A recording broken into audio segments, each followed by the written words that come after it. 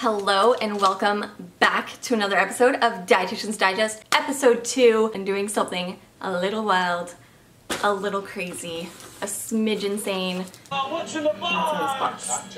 What's in the Oh my god, calm down. Today, we're gonna eat bugs. Correction, I'm gonna eat crickets. You're gonna watch me. We're gonna talk about insect protein and maybe learn a thing or two. Ring a ding ding. Sound like a plan, Stan? Okay, great. Because you guys, insects are the next or the new beef. Today we got here some cricket protein powder. So this is just whole roasted cricket protein. Entomo Farms.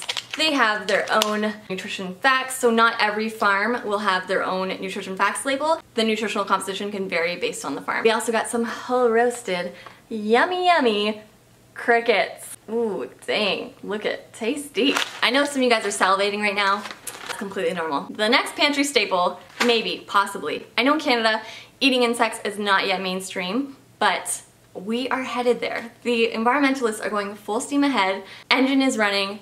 Everything, all the places, the keys, what? All the ducks are in a row. Insect protein is coming, guys, so get on board now. We could talk all day long about nutrition, and what the benefits are of eating these, but if we can't get behind the taste, the texture, the palatability, then it's not gonna work. So we're gonna do that, but first we're gonna talk about the benefits because I need to psych myself up, get mentally prepared to eat this. Some background about me, I have never looked at a cricket and said, damn. I think that's a reasonable thing. I have, some would say, an irrational fear, maybe, of insects. We're eating insects today. So if I can get over this aversion is what I'm trying to say, you can definitely get behind insect protein. Let's call a spade a spade. The food system of the world is not sustainable. We can't go at the current rate that we're going at and feed the global population. The food system is not sustainable from a farmer perspective, environmental perspective, a consumer perspective, just everything in between. That's a whole separate video in and of itself, but we need to find a solution to feed the world, people. Doing my part, I'm taking one for the team to see how crickets taste. So this is me doing the world a kindness. Who knows, maybe I'll like crickets. Everybody gets a cricket on their meal plan. Future clients, if you're out there, if you love crickets, if we're gonna be replacing animal protein sources with insect protein sources, we need to know how it stacks up against beef, poultry, fish, what is the protein source, quality, digestibility, all of that. The nutritional profile of insects varies from species to species. Some have a high fat content, a high calorie content, others are leaner sources of protein, more concentrated sources of protein, and vice versa. So knowing your insect species nutrient profile is very important for whatever your goals are, your intentions with eating that protein source. But I think for the most part, people only care about the protein. We're gonna talk about the micronutrition too and other health benefits, but protein, gram per gram basis, crickets are actually more rich in protein than animal sources. So about 60 to 70% of crickets are protein versus animal sources, the range is about 15 to 20%. So already there, we're off to a great start, off to the races. Also high quality, meaning that it contains complete spectrum of amino acids. The profiles of amino acid content varies again by the species.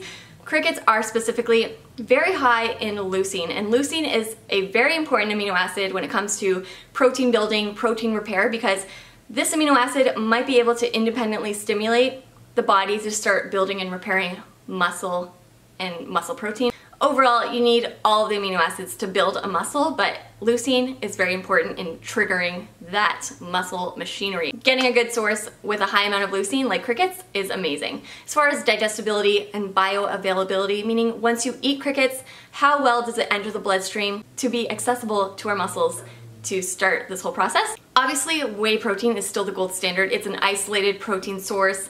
It's high in leucine. It's very digestible. So whey protein remains the gold standard. But cricket protein has other benefits, which we will talk about. But overall, if you're just choosing from a species A to species B to crickets, crickets have the highest quality protein because of that leucine and the highest digestibility. So if you're looking just for a protein source, crickets are your best bet. But besides protein, crickets contain prebiotic fiber. The outside of their body is that harder, I'm, I'm hoping it's crunchy and not chewy, a harder outer layer. Uh, that is a prebiotic fiber. And prebiotic just means it helps to feed your healthy gut bacteria, which promotes overall a healthy gut. And that has so many ramifications on your health that I don't even think science fully knows, but supports immune health, mental health, physical health, so much. Like your gut communicates to your whole entire body. So any food source that can help promote gut health is huge check mark. Crickets also contain a healthy fat, the omega-3 fatty acids, more than salmon, which is touted as like the holy grail omega-3 food source. Crickets are a better source. Ooh, are these looking more delicious to you? It's also very unique to get um, a really high quality protein source that has a really good fiber source and also a really good fatty acid source. Micronutrient wise, crickets also have more iron on a gram per gram basis, more calcium, more potassium than spinach, milk, and a banana respectively. Lastly, vitamin B12. So Animal sources are really the only source of vitamin B12, especially if you're a vegetarian, you're gonna need to supplement with maybe like a microalgae supplement. Other than that, let me know in the comments below, if you're a vegetarian, would you consider eating insects? Or do you consider them still like kind of like an animal, don't wanna eat insects? If not, it's a really great source of vitamin B12. 317% of the recommended daily value is in one serving of this. If I didn't say the servings already, one third of a cup and uh, two tablespoons is a serving for the powder.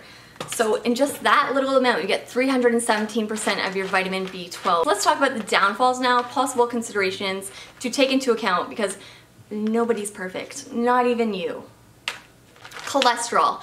This amount varies just as everything else does by the farm, by the diet of the cricket, by the processing, all of that can affect the nutrient profile, but diet specifically can affect the cholesterol content of crickets. These contain 65 milligrams of cholesterol per serving. Whew, just saw a tentacle.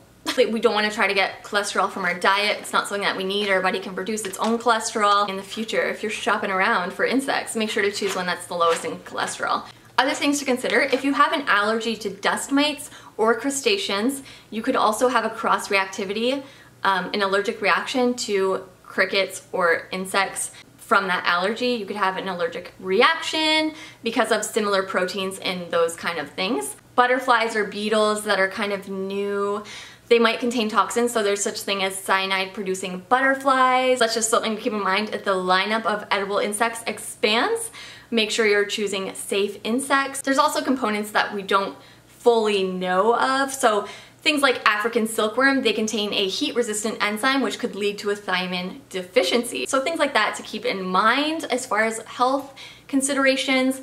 Also, pesticides, heavy metals, and just environmental toxins could be absorbed into the insect and you could get that when you eat them. So again, choosing very sound farms to purchase your insects from is also key. Other than that, I think it's safe to say that insects have a pretty good safety profile and a good nutritional profile. We're gonna try them now. Bring in Entomo Farms to us. We're gonna start with the cricket protein powder and use a Dietitian Illustrated favorite of the Cherry Choco Mint Shake. Cherry Choco Cricket Mint Shake, I should say. Be right back, I'm gonna go make my shake. Okay, I'm gonna use one serving. One serving gives you 13 grams of protein. 13 grams of protein in a third of a cup. 13 grams of protein in two tablespoons. Let's dive in. I'm back. what I miss? okay, we got the shake here. Cherry Choco Cricket Mint Shake. I will say that the bag, when I opened it, did have like a distinct smell. Not good or bad. Not bad. Actually not that affected. It's like, I wouldn't really tell the difference. Ooh, cricket protein powder for the win. I just put the shake away so I could continue on with this video. I just wanna revisit the smell of this before I eat the whole ones just to get a better sense of what we're dealing with here. Oh, what does that smell like? Something very familiar. Crackers. Let's fact check my subjective opinion, which makes no sense. Be right back. Uh, oh, oops, my puppy's here. Okay, so that wasn't helpful because the person I just asked used to have a pet lizard and they said that this smelled like crickets. Oh, you want to do the taste test too? Oh my gosh, dogs like crickets. Oh, what? I think it smells like crackers. That's just me. Okay, are crickets safe for dogs? Are crickets safe for dogs to eat? Prepare. Up. She is relentless. Pardon? So she can eat them? Okay. Piper can do this with me. Piper, come. I'm glad I'm not alone. I have a friend. Piper, up. We're gonna eat crickets. Do we eat crickets? You want to eat crickets? We're gonna eat these together. This is Piper. Boxer Doberman mix. To look beautiful for the camera. Ooh, we're gonna eat crickets together. This is like a mother-daughter bonding moment. That is what it looks like inside. I'm debating if it's better to eat just one or a whole bunch. I feel like if you eat a whole bunch at one time, it's like, what's what, who's who, I don't know. Is that a, a leg? Is that a, I don't know. If they have, some would say, an irrational fear, maybe, of insects. Holy, I can't do all of them. Okay, I can do three little ones. Wait, I have to get used to just even holding them before I can actually eat them. Some of them have like tentacles. Oh, I'm like shaking in my boots. Oh, there's the cricket. So real. Oh, I will just eat one because I can't. Should I just do a full, no, okay. I'm gonna do a full handful. This is like the toddler challenge. I'm just gonna go to the washroom, see if you eat it. Wait. Okay, we're gonna do it. Ready? Go get it! Woo! Oh. It's not bad at all. Oh, I feel so relieved. They were crunchy and they kind of just like dissolved into powder. So that was a great experience. I can definitely get behind this. I was too much in a state of fear to really focus on the taste. Didn't really taste like anything that was disgusting. Dogs really like crickets. Mm. What does it taste like, Piper? Gosh, just two gals eating cricket. Can we just thank baby Jesus that they were not chewy. They're super crunchy but like crispy. It's good. And you don't really notice that you're eating an insect in your mouth. Oh, it smells like sunflower seeds. Look at me, who is she? What a little treat. You get that nutty taste with all the nutrients, like so nutrient dense. Do you like it? Oh, good girl. You need to stay and look regal for the rest of the video. Well, that was a success. Definitely wouldn't be opposed to buying crickets again. This was a little bit of an effort because I had to order it, wait for it to come, pay for shipping, but if it was just on a shelf at a grocery store, I think I would buy it just as a snack. This is actually good. Do you want to try some? He says no, but that will change. I've conquered my fears. That was amazing. Overall, Jiminy Cricket's ashes were hardly noticeable. Didn't notice them in my smoothie. These taste like sunflower seeds. Crunchy, crispy, can't even tell they're insects. If you like this video, give it a thumbs up, subscribe. That was insane. I'm gonna go now. Bye guys.